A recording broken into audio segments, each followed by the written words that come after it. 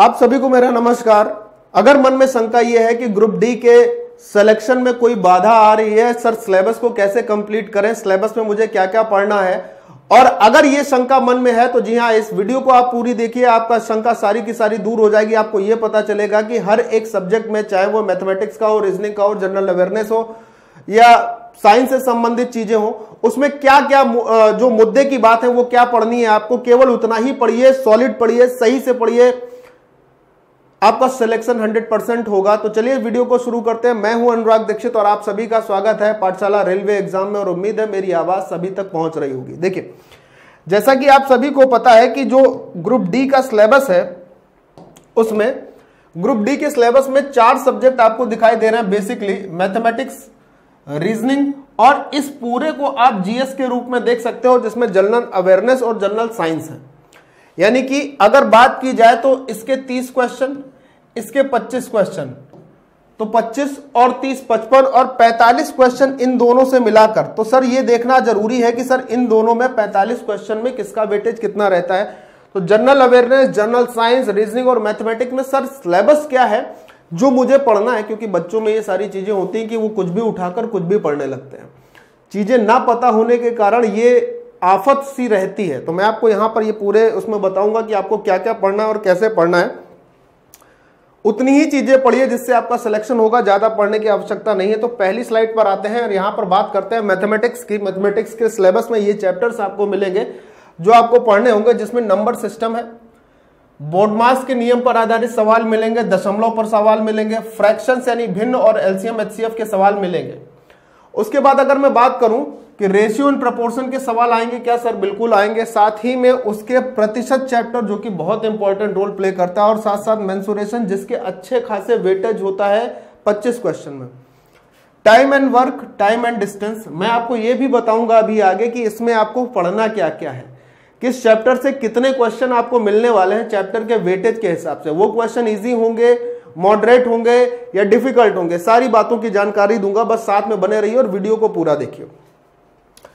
Interest की बात की जाए तो सिंपल इंटरेस्ट और कंपाउंड इंटरेस्ट के साथ साथ प्रॉफिट एंड लॉस चैप्टर भी एक महत्वपूर्ण भूमिका निभाता है और उसके बाद अगर एडवांस मैथमेटिक्स में देखा जाए तो सबसे पहला चैप्टर आता है अल्जब्रा का। ज्योमेट्री और ट्रिग्नोमेट्री के साथ एलिमेंट्री स्टैटिस्टिक्स यानी कि सांख्यिकी, प्रारंभिक सांख्यिकी भी आपसे पूछी जाएगी। उसके बाद स्क्वायर रूट पर आपको सवाल मिलेंगे। एज कैलकुलेशन पर आपको सवाल मिलेंगे। कैलेंडर और क्लॉक के सवाल भी, जो कि रीजनिंग का टॉपिक है, लेकिन पॉसिबल ही होगा कि कैलेंडर और क्लॉक के सवाल भी आपको मैथमेटिक्स में मिल जाए इन 25 क्वेश्चन में। नजरअंदाज नहीं करिएगा, और उसके बाद पानी और टंकी से आपको सवाल मिलने वाले हैं। तो बेसिकली आपको मैथ्स में इन चैप्टर्स पर बहुत ज़्यादा फोकस करना है। आगे बढ़ रहा हूँ, आपको कुछ और चीज़ें दिखाता हूँ बेहतरीन, जो कि आपकी तैयारी में चार चाँद लगाएँगे।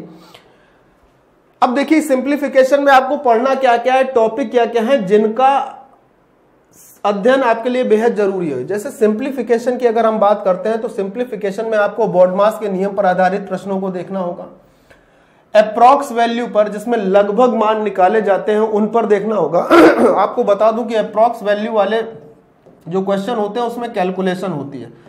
और मैंने ये अनुभव किया है यूट्यूब पे पढ़ाते हुए कि जब भी कोई भी अध्यापक कैलकुलेशन बेस्ड क्वेश्चन कराता है तो बच्चों की संख्या घटकर आधी हो जाती है। तो मैं तुम्हें ये दिखा रहा हूँ कि ये चीज़ें आएँगी पेपर में। आज नहीं, कल आएँगी आएँगी आएँगी। उसके बाद वर्गमूल के सवालों को ध्यान से देखिए होगा। इस पर मैंने एक वीडियो किया है जिस पर मैंने वर्गमूल को केवल देखते ही आप किसी भी संख्या का वर्गमूल कैसे निकाल सकते हैं। किसी भी संख्या का मतलब अगर किसी वर्ग संख्या का तो उसको देख सकते हैं। प्रतिशत चैप्टर, उसके बाद फ्रैक्शन। प्रतिशत को सिंप्लीफिकेशन में ही शामिल किया गया है। साधारण से सवाल आएँगे फ्रैक्शन मतलब भिन्न से।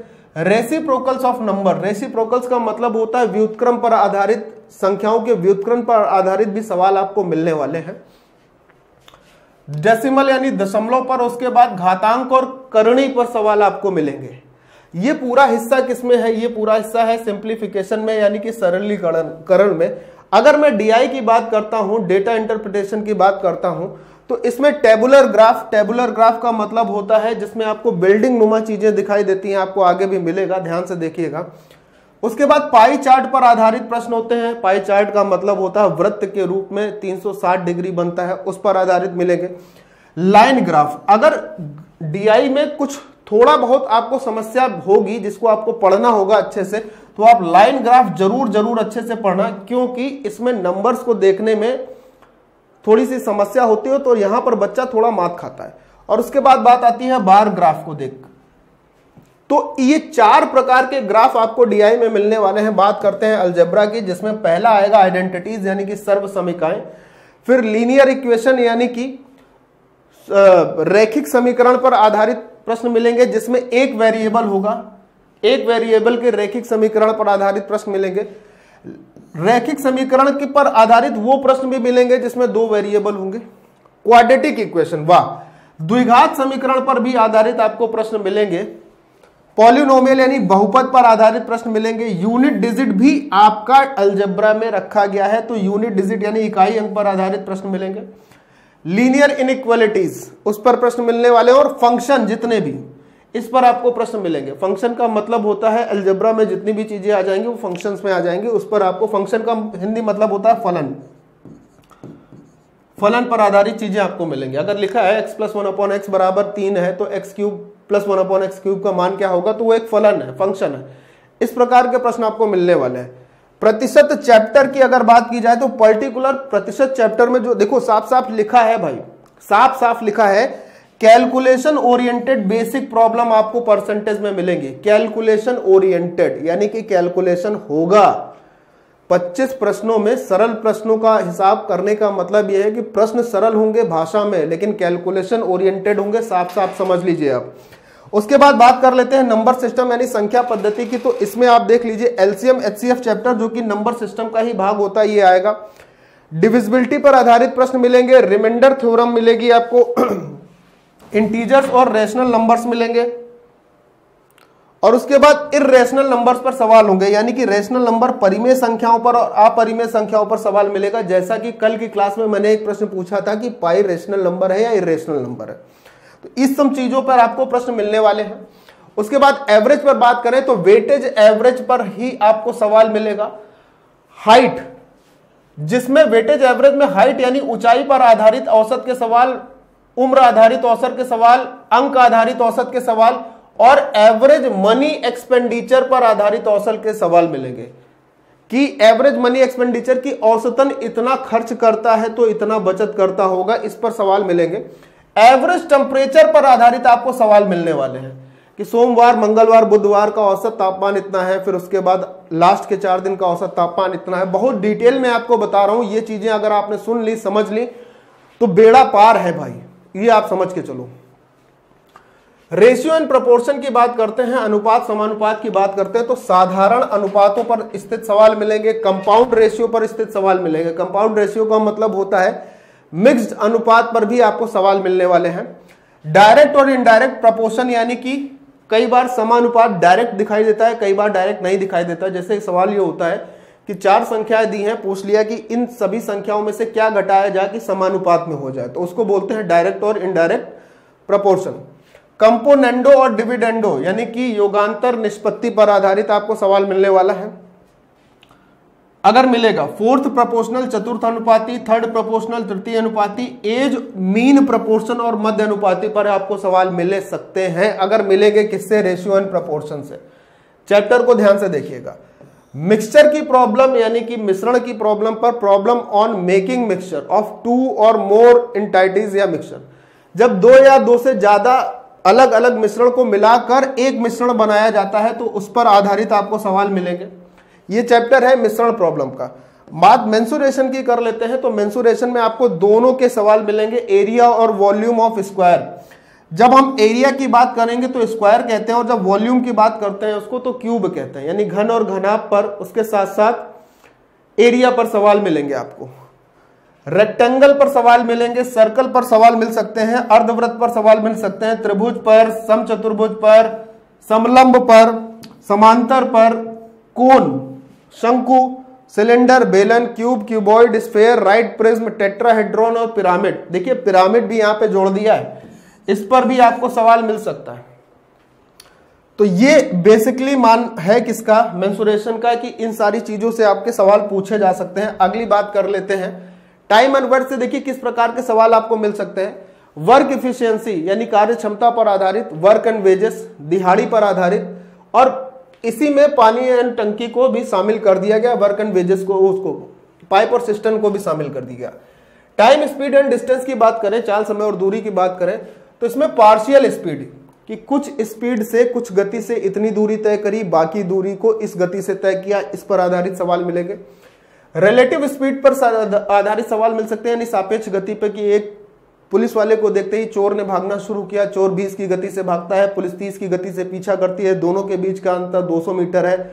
पुलिस चोर को कितनी देर में पकड़ेगी, इसमें रिलेटिव स्पीड का कॉन्सेप्ट लगता है, वो मिलेगा। एवरेज स्पीड तीन बराबर दूरियों को अलग अलग चाल से तय किया एवरेज स्पीड क्या होगी? बोट एंड रिवर पर क्वेश्चन मिलेंगे कि एक नाव धारा की दिशा में इतनी गति से जाती है और उसके दो गुने समय में धारा के विपरीत वापस आ जाती है। तो उस पर सवाल होगा। प्रॉब्लम बेस्ड ऑन ट्रेन पर सवाल मिलेंगे, यानी कि रेलगाड़ी पर आधारित प्रश्न मिलेंगे कि एक ट्रेन चलते हुए 500 मीटर लंबी एक ट्रेन चौवन किलोमीटर प्रति घंटे की रफ्तार से चलते हुए एक प्लेटफॉर्म को इतने इतने देर में पार करती है। वही ट्रेन उसके आगे खड़े एक आदमी को कितनी देर में पार करेगी? ट्रेन आधारित सवाल। इंटरेस्ट पर बात करते हैं तो सिंपल एंड कंपाउंड इंटरेस्ट पे आपको सवाल मिलेंगे दोनों पर ही। हाँ इस पर आपको इंस्टॉलमेंट के जो क्वेश्चन होंगे उस पर भी एक नज़र डाल के रखनी होगी। मैं आपको कराऊँगा सारी की सारी बातें। इंस्टॉलमेंट के क्वेश्चन। लाभ और हानि पर बात करें तो डिसऑनेस्ट डीलिंग कि एक बेईमान दुकानदार पर आधारित जितने भी ज़्यादा से ज़्यादा प्रश्न आप कर सकते हो, वो आप लगाओ फटाक से। सक्सेसिव पर आधारित सक्सेसिव सेलिंग पर आधारित, कि एक दुकानदार ने खरीदते समय सोलह दशमलव छह सात परसेंट की बेमानी करी, बेचते समय चौवालीस दशमलव चार चार परसेंट की बेमानी करी, इसके बाद वो ग्यारह वस्तुओं की खरीद पर एक वस्तु फ्री भी दे देता है, उसका लाभ प्रतिशत क्या होगा? इन सब में सक्सेसिव लग जाता है। पार्टनरशिप भी इसी में शामिल कर दी गई है। उसके बाद डिस्काउंट और मार्क प्राइस कितना बढ़ाया गया, कितना कम किया गया, लाभ क्या होगा, इस पर आधारित प्रश्न आपको प्रॉफिट एंड लॉस से मिलेंगे। एक बात गारंटी है, लिख लो। इनके बाहर जो मैं बोल रहा हूँ, इसके बाहर प्रश्न पूछे नहीं जाएँगे। याद रखना इस चीज़ का। नंबर सीरीज़ पर आपको इस पर चीज़ें मिलने वाली हैं। ज्योमेट्री में क्या क्या आपको मिलेगा, ये ध्यान से देखिएगा।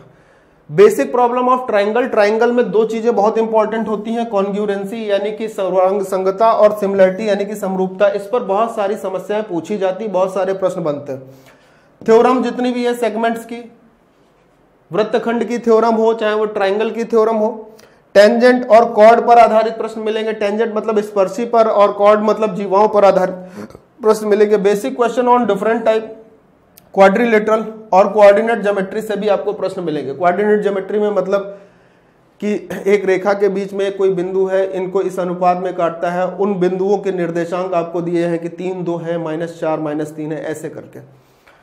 ट्रिग्नोमेट्री में इस प्रकार की प्रॉब्लम आपको मिलेंगी और प्रोबेबिलिटी भी आएगी। वेरी बेसिक क्वेश्चंस प्रायिकता के बहुत ज़्यादा बेसिक समस्या होंगी। जैसा एक प्रश्न मैंने आपको बताया था कि एक गड्डी से अगर फेस कार्ड निकालने हो तो उसकी प्रोबेबिलिटी कितनी होगी? क्या निकालना हो? फेस कार्ड यानी कि चेहरे वाले कार्ड निकालने हो पूरे एक पैक से कार्ड के तो उसकी प्रोबेबिलिटी क्या होगी? इस प्रकार से मैथ का सिलेबस आपका पूरा होना ही पड़ेगा, ठीक है? और उसके बाद अगर हम बात करते हैं अगले उस पर तो देखिए मैं यहाँ पर अब रीजनिंग की बात कर रहा हूँ जो कि 30 नंबर का वो लेकर चलता है। तो रीजनिंग में आपको क्या क्या पढ़ना है, इस पर आप ध्यान दे लो। कैसे कैसे पढ़ना है, इस पर आप चीज़ों को समझ लो। एनालॉजी पढ़नी है, सीरीज़ पढ़नी है, कोडिंग, डिकोडिंग पढ़नी है। उसमें क्या पढ़ना है, ये आपके आगे लिखा है। वीडियो को पॉज करना, नोट्स बनाना, लिखना। अगर आपने पढ़ाई शुरू कर दी है तो इसके आधार पर पढ़िए, और अगर नहीं शुरू करी तो शुरू करिए और फिर इसके आधार पर पढ़िए। लेकिन आपको पढ़ना इसी पर आधारित है। एक्स्ट्रा मत पढ़ना कुछ भी। ये मैं बोल रहा हूँ बार बार पजल पर इस प्रकार की पजल आ सकती है। डायरेक्शन डिस्टेंस पर क्या आ सकता है? ब्लड रिलेशन में क्या आएगा? अल्फ़ाबेट और वर्ड टेस्ट में क्या आएगा? ये सारी चीज़ें यहाँ पर मेंशन है। ठीक है? अब वेन डायग्राम में क्या आ सकता है? नंबर सिस्टम मिसिंग नंबर में नॉन वर्बल रीजनिंग क्लासिफिकेशन और वर्बल रीजनिंग इन सब में क्या क्या आ सकता है ये मैंने आपको लिखा है। जो कि प्रश्न पूछे जाएँगे ग्रुप डी में। इसके बाहर कुछ नहीं पूछा जाएगा बार बार कह रहा हूँ। नेक्स्ट आइए। अब देखिए जनरल अवेयरनेस का जो सिलेबस है, उसमें आपको क्या पढ़ना है? सबसे पहले तो इस पर ध्यान दो, ये जनरल अवेयरनेस की बात कर रहे हैं। इसमें आपको क्या पढ़ना है? साइंस और टेक्नोलॉजी से संबंधित जितनी भी चीज़ें आप पढ़ सकते हो, किससे? साइंस और टेक्नोलॉजी से। वो सारी की सारी पढ़िए जितनी पढ़ सकते हो। थोड़ा सा बड़ा कर देते हैं ताकि आपको अच्छे से और दिखाई दे। साइंस और टेक्नोलॉजी से संबंधित जितनी चीज़ें आप पढ़ सकते हो, सारी की सारी पढ़िए। उसके बाद पर्सनैलिटीज कौन व्यक्ति किस पर्सनैलिटी में जाना जा रहा है? जैसे अभी द्रौपदी मुर्मू का नाम एक सामने आ रहा है। किसके लिए? For the candidate of presidents इसके लिए नाम आ रहा है। स्पोर्ट्स से संबंधित जितनी चीज़ें हैं, पढ़ सकते हो, पढ़ लो। कि तीसरे टी ट्वेंटी मैच में साउथ अफ्रीका को किसने हराया या साउथ अफ्रीका ने पहले क्या किया? स्पोर्ट्स से संबंधित जितनी भी चीज़ें हैं, पढ़ने वाली, वो आप पढ़ो, जो सिलेबस में। अभी ऐसा नहीं कि यूपीएससी की उठा के भी पढ़ने लगी। इकोनॉमी संबंधित, यानी कि अर्थव्यवस्था से संबंधित जो जो चीज़ें आप पढ़ सकते हो। जो आपके पास पुस्तकें हैं, पुस्तकों की भी जानकारी मैं दूँगा अगले वीडियो में, उसको भी मैं आपको बताऊँगा, ठीक है? कल्चर, यानी कि संस्कृति से संबंधित, कौन सा फोक डांस कहाँ है, होता है, किस स्टेट का फोक डांस उसके लिए प्रसिद्ध है, लोक नृत्य उसके लिए प्रसिद्ध है, जैसे असम में बिहू, गुजरात में वो होलोले होलो क्या होता है, उसका जरा वो बताना, ठीक है? जो दया बेन करती है। ठीक। पॉलिटिक्स, राजनीति से संबंधित any other subject of important और दूसरे कोई भी सब्जेक्ट जो कि इंपॉर्टेंस महत्वपूर्ण होते हैं, वो आपको जनरल अवेयरनेस में पूछने जाते हैं। जनरल अवेयरनेस का मतलब होता है सामाजिक रूप से उन चीज़ों का ज्ञान जो जानना ज़रूरी होती है। तो बेसिक उसमें सिलेबस ये है, इसको आपको पढ़ना ही पढ़ना है। उसके बाद हम बात कर लेते हैं करंट अफेयर्स और बाकी चीज़ों की कि आपको क्या पढ़ना है। देख लीजिए, आपके पास लिखा हुआ है। थोड़ा सा जूम कर लेते हैं और एक एक चीज़ करके आपको दिखाते हैं तो आपको समझ में आएगी चीज़ें। देखिए करंट अफेयर्स आपको क्या पढ़नी है? करंट अफेयर्स में आर्ट एंड कल्चर के विषय में अवार्ड्स और ऑनर यानी जितने भी अवार्ड्स के विषय में बिज़नेस इकोनॉमी किताबें और उनके लेखक कमिटीज कौन सी बनी, कौन सी बेदखल हुई, किस कमेटी का काम क्या था, उसके अध्यक्ष कौन थे रिकमेंडेशन क्या है national affairs people and news जो लोग न्यूज़ में बने रहे हैं जो स्थान न्यूज़ पर बने हैं, जैसे यूक्रेन बना है इस वक्त, ठीक है? डिफेंस से संबंधित जितने भी न्यूज़ है, अग्निपथ से एक क्वेश्चन आना पक्का है, इसको ध्यान से रखिएगा। डेज़ एंड इवेंट्स कौन सी तारीख में क्या मिलाया जाता है? जैसे अभी 21 जून को योगा दिवस मनाया गया था। गवर्नमेंट पॉलिसीज़ जितनी भी गवर्नमेंट की पॉलिसीज़ और स्कीम्स आती हैं, कि उज्ज्वला योजना किसके लिए प्रसिद्ध है, वो आपको बताना है। कैपिटल और करेंसी उसके बाद जितने भी नई नियुक्तियाँ हुई हैं या जितने भी नए रेजिग्नेशन हुए हैं, किसने त्याग पत्र दिए हैं, किसकी कौन सी अपॉइंटमेंट्स हुई हैं। ज्योग्राफी में आपको ये सारी चीज़ें पढ़नी है। इंडियन ज्योग्राफी में हिस्ट्री में आपको यह पढ़ना है पॉलिटी में ये लिखा हुआ है इकोनॉमिक्स में ये देखना है। आगे बढ़ता हूँ थोड़ा सा तो मैं बात कर लेता हूँ मिसलेनियस टाइप में। मिसलेनियस टाइप में आप देख लीजिए आपको क्या लेकर चलना है। मिसलेनियस टॉपिक जो है ना, उसमें क्या है? उसमें भी आर्ट एंड कल्चर से संबंधित चीज़ें हैं अवार्ड्स एंड ऑनर जो ऊपर लिखी थी उससे संबंधित चीज़ें आपको लेनी होंगी और जो नया आ रहा है वो देखना है बिटकॉइन और क्रिप्टो करेंसी ये नया है, ये आपको मिलेगा बिटकॉइन और क्रिप्टो करेंसी की। क्रिप्टो करेंसी क्या होती है? भारत में रेगुलेट हो रही है या नहीं है? ऑथेंटिकेट है या नहीं है? बिटकॉइन पर जितनी भी चीज़ें। और सबसे ज़्यादा ज़रूरी जिस पर दो क्वेश्चन मिलने ही मिलने हैं, जो कि साइंस और टेक्नोलॉजी पर है। इस पर आप लोग बहुत ज़्यादा फोकस करिएगा ये सिलेबस है, मैं आपको बता रहा हूँ क्या आपको पढ़ना है, ठीक है? अब देखिए जरा, मैथ्स में किस चैप्टर का वेटेज कैसा रहेगा और उसका लेवल कैसा रहेगा, इस बात की भी जानकारी मैं आपको दे देता हूँ, ध्यान से सुनिएगा। अगर मैं इंटरेस्ट की बात करता हूँ तो एस आई सी आई से दो क्वेश्चन आपको मिलेंगे, जिसका लेवल मॉडरेट रहेगा। मॉडरेट का मतलब होगा, न ज़्यादा इजी होंगे, न ज़्यादा डिफ़िकल्ट होंगे। हो सकता है कैलकुलेटिव हो। पानी और टंकी से पॉसिबली एक क्वेश्चन मिल जाएगा। ये सरल रहेगा, सरल से मॉडरेट के बीच में। प्रॉफिट एंड लॉस इस वीडियो को संभाल के रखना। पेपर के बाद ये काम आएगा। याद करोगे कि अनुराग सर ने ऐसा कुछ बताया था। प्रॉफिट एंड लॉस से देख लीजिए वेटेज देखिए सर इसका। तीन से चार क्वेश्चन होंगे जो इजी से मॉडरेट होंगे। मॉडरेट का मतलब यहाँ पर कैलकुलेटिव भी हो सकते हैं। एज, आयु से एक क्वेश्चन मिलेगा, सरल तरीके से टाइम एंड वर्क से एक से दो क्वेश्चन मिल सकते हैं, सरल, बहुत ज़्यादा नहीं होंगे। टाइम एंड वर्क में जैसे नॉर्मल होता है ना कि ए किसी काम को 10 दिन में कर सकता है बी 20 दिन में कर सकता है, ऐसे क्वेश्चन की जगह जैसे मैंने कल के सेट में क्वेश्चन कराए थे, वैसे मिल सकते हैं, ठीक है? ज्योमेट्री ज्योमेट्री में अगर बात की जाती है सर्कल से एक क्वेश्चन मिलना तय है, हो सकता है और भी किसी से क्वेश्चन मिल जाए, लेकिन सर्कल से एक क्वेश्चन मिलना तय है, जो कि इजी से मॉडरेट लेवल का होने वाला है, हो सकता है। टाइम स्पीड एंड डिस्टेंस की बात करें तो दो क्वेश्चन आपको मिलने कन्फर्म है। अब ये time and speed and distance है मतलब ऐसा नहीं कि पर्टिकुलर यही चैप्टर होगा। इसमें प्रॉब्लम बेस्ड ऑन ट्रेन भी शामिल होती है, इसमें रेस भी शामिल होती है, इसमें बोट एंड स्ट्रीम भी शामिल होती है। इनसे आपको क्वेश्चन मिलेंगे, दो इजी लेवल के, बहुत डिफ़िकल्ट नहीं आएँगे। हाँ जी एवरेज की बात करते हैं, एक क्वेश्चन कंफर्म होगा, किस पर? डेविएशन पर या एवरेज वेटेज पर? इजी टाइप का। त्रिकोण मिति से तीन क्वेश्चन कंफर्म है इजी से मॉडरेट लेवल के। बहुत ज़्यादा डिफ़िकल्ट क्वेश्चन आपसे वैसे भी नहीं पूछे जाएँगे, क्योंकि टाइम का ध्यान रखा जाता है। प्रतिशत से दो क्वेश्चन इजी से मॉडरेट पाई चार्ट पे एटलीस्ट दो क्वेश्चन ग्राफ में खास तौर पर pie chart DI at least दो क्वेश्चन दो क्वेश्चन मिलने तय हैं, जो कि मॉडरेट लेवल के होंगे और मिसलेनियस से आपको पाँच क्वेश्चन मिल सकते हैं, विविध से। सर विविध क्या होता है? मिक्सअप विविध से पाँच क्वेश्चन मिल जाएँगे मॉडरेट लेवल के। इसमें हो सकता है कुछ क्वेश्चन ऐसे हो जिसमें कैलकुलेशन अच्छी खासी हो और जो आपको करनी पड़े, जिससे आप लोग यूट्यूब से दूर भागते हो ना। जब कोई भी अध्यापक ये सिखाने की कोशिश करता है कि कैलकुलेशन कैसे की जाए, मैं अपनी बात तो कर ही रहा हूँ, साथ में सारे अध्यापक की बात कर रहा हूँ। तो आप लोग उससे दूर भाग जाते हो, सीखने का प्रयास नहीं करते हो। आज आप नहीं सीखोगे, कल आपके लिए समस्या होगी, नौकरी नहीं मिलेगी, बेरोजगारी बढ़ेगी तो कहीं ना कहीं आप लोग इस बेरोजगारी को बढ़ाने में अपना सहयोग दे रहे हो। तो जो अगर टीचर सिखाए तो उसको सीखिए प्लीज़ टोटल आपके 25 क्वेश्चन होंगे मैथ्स में, जो कि मॉडरेट लेवल के होंगे। इजी नहीं कह सकते हैं डिफ़िकल्ट नहीं कह सकते पेपर मॉडरेट आएगा, लिख लो आज। पहले से बता दे रहा हूँ, घोषणा कर रहा हूँ, अभी पेपर का काफ़ी समय बाकी है। अब अगर इसको वेटेज के हिसाब से देखते हो मैथ्स को मैथमेटिक्स का तो इस हिसाब से आपका वेटेज होगा स्क्रीनशॉट ले लीजिएगा। ये नंबर्स लिखे हैं। कौन सा क्वेश्चन कैसे आएगा? इसको बोलते हैं बार ग्राफ इसको क्या बोलते हैं? बार ग्राफ ठीक? चलिए, आगे की तरफ़ बढ़ते हैं। हाँ रीजनिंग के टॉपिक्स की बात करें तो कौन कितने नंबर का हो सकता है, इस पर मैं बात कर लेता हूँ और उसका लेवल क्या होगा, इसको भी आपको बता देता हूँ। समझ लो, देख लो, लिख लो। सिलॉक से चार से पाँच क्वेश्चन बन रहे हैं। मुझे लगता है चार से पाँच बन रहे हैं, लेकिन चार से पाँच आएँगे नहीं, ये क्वेश्चन की संख्या दो से तीन होगी। इजी लेवल के होंगे, ठीक है? चार से पाँच ज़्यादा है। मुझे दो से तीन लग रहे हैं लेवल इजी होगा। वेन डायग्राम से क्वेश्चन आना तय है। मैथमेटिकल कैलकुलेशन से क्वेश्चन आने तय है।